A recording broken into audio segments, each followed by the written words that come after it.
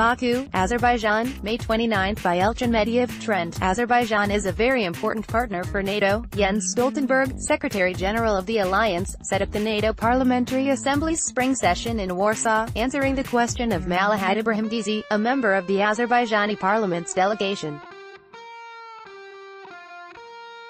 Stoltenberg highly appreciated the cooperation of NATO with Azerbaijan. He said last year President Ilham Aliyev paid an official visit to Brussels, and very important meetings took place at the NATO headquarters during the visit.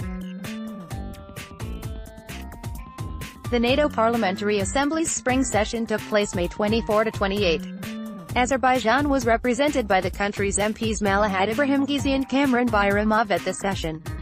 Follow Trend on Telegram. Only most interesting and important news.